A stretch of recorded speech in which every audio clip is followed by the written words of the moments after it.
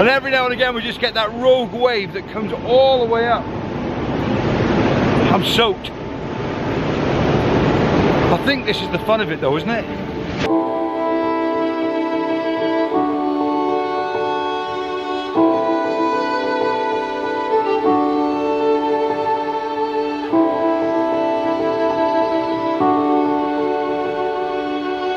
Morning guys, welcome to this week's vlog.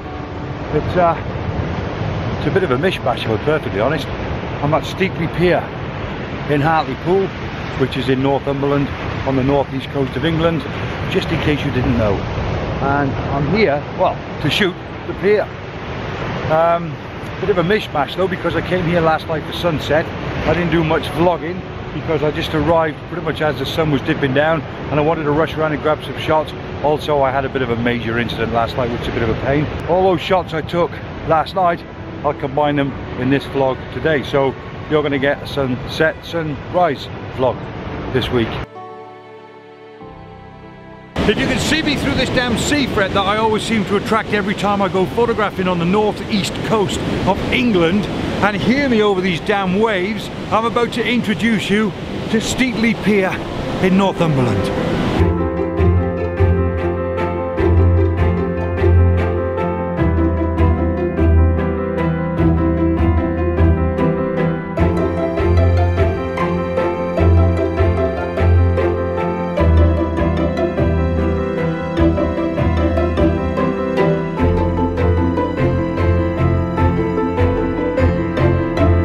Need to stop the video right now.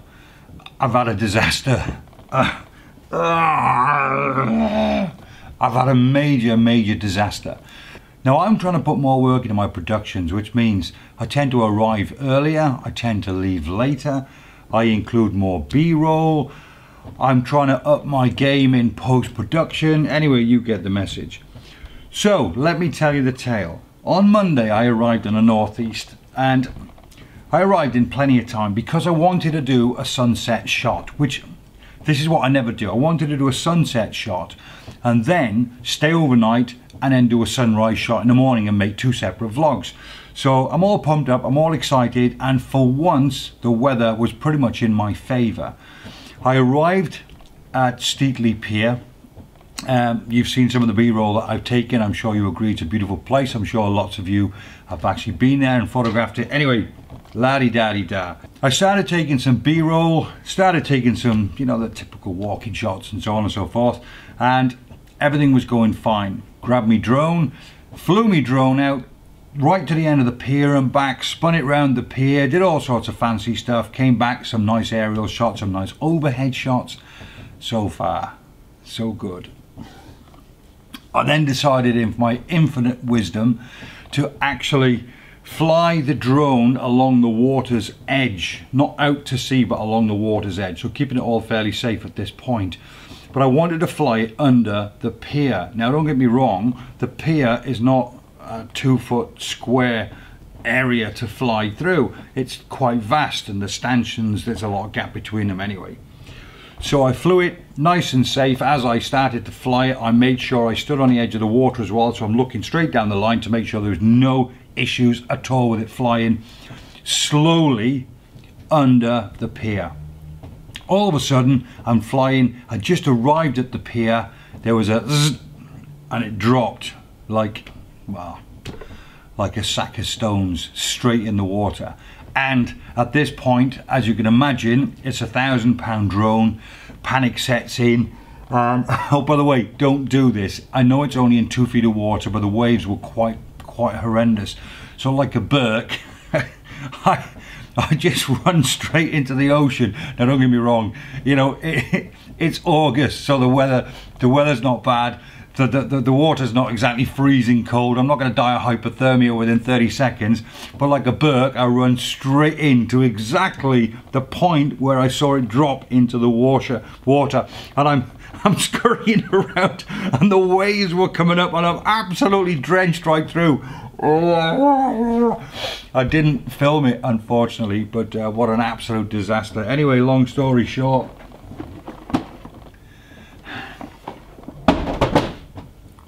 it's gone.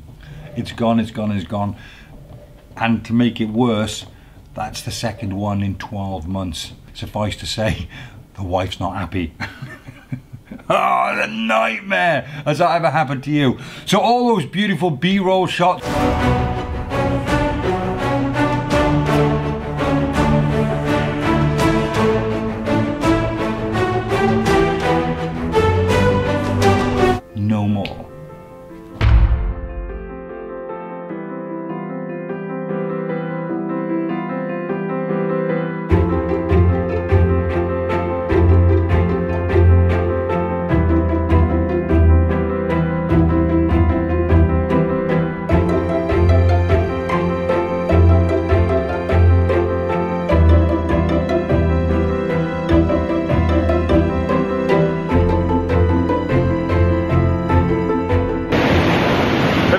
Quickly talk you through my composition.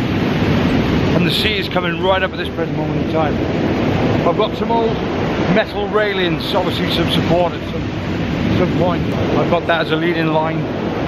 Uh, complementing that with a leading line, obviously, of the pier going all the way out. I'm on the left hand side of the pier, which is probably a little bit unusual because most people I'm guessing we'll probably take the shot from the right hand side simply because the pier moves up and then edges out to the right. Look, look, look, look, look, look.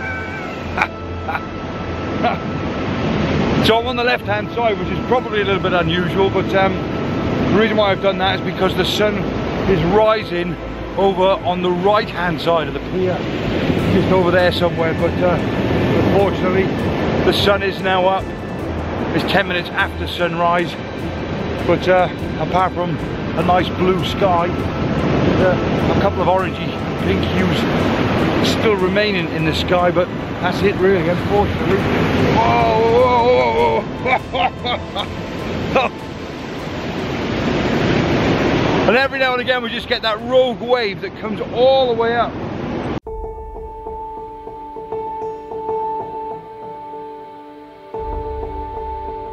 well very sadly that's it.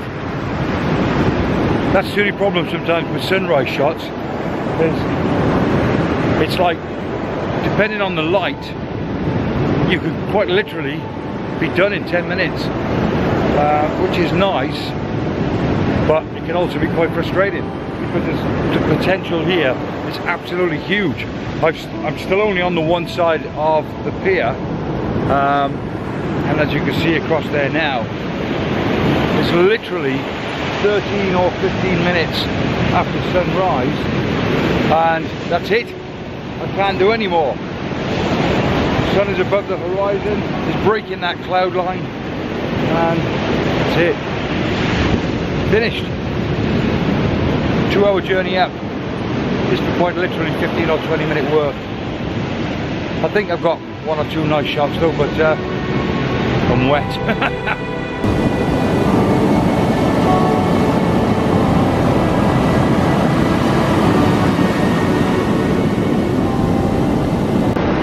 don't just want to finish yet. To extend my shooting time, what I've decided to do is actually come to the right hand side of the pier. The sun is up, but it's actually, it's so bright now, I'm struggling to look into this camera. I certainly can't see myself on that screen. But what I've done now is I've come to the right hand side knowing that the right hand side of the pier will be lit up by that sun. So all I'm going to do is aim away from the sun without stating the obvious, shield myself on this screen here when I actually physically take a picture. And with my settings at f11 and ISO 100 I've managed with my 10 stopper on there to create a 30 second exposure. And that's quite interesting. My composition we've got some uh, I don't know what they are. Poles sticking up in the water shall we say. Obviously supports at some point probably from a, a really old pier we're using those as foreground interest. I really I want to get closer to them but I can't because obviously these waves are coming up and every now and again there's a rogue wave that comes up all the way up and I have to rush onto the bank. So it's been a bit of a challenge this shoot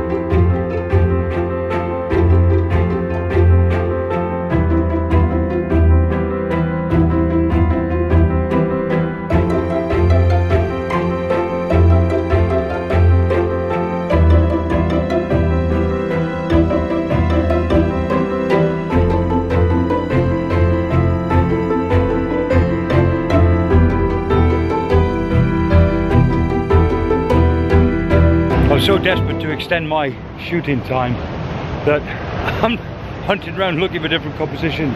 And I, I, know this is nothing new. You could tell by the actual wear and tear on the floor that this is probably an iconic shot to take. Uh, I haven't done any research online. I'm guessing maybe everybody takes this shot. I'm not really sure. But I'm right on the end of the pier.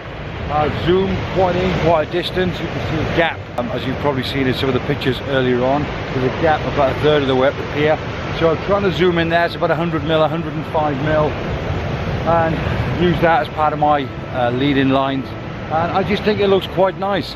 Uh, it's really central. It's got the horizon on the bottom third two-thirds sky because that sky at the moment is delightful. So the worst case scenario at this present moment in time this would make for a really nice grungy black and white. And I really like it so my settings in camera ISO 100 f11 is pretty standard and my shutter speed is at a 30 second exposure with my 10 stopper in there I'm not discovering anything new here, absolutely not. But uh, while you're here, why not shoot it? I do like it. I think this will be quite nice. And I might even opt for a, a different perspective and try and get as low down on this pier as I possibly can. You can't actually get onto the pier. Well, you might be able to if you're young and fit and healthy. But, but obviously, clearly I'm not going to get on that pier.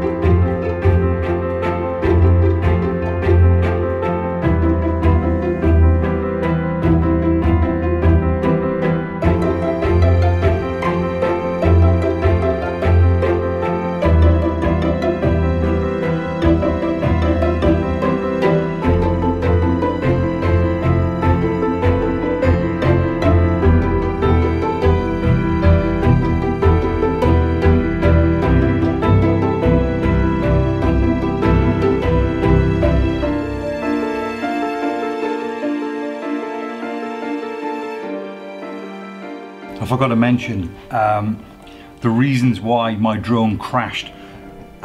On closer inspection, uh, and obviously when the tide went out, the um, I realized that where the drone had actually flown under the pier, there was a very small cord just hanging down, a very small cord, very thin um, piece of wire that was hanging down from the top of the pier. And obviously it's too small to be detected by the anti-collision stuff that's built into the, the Mavic Pro.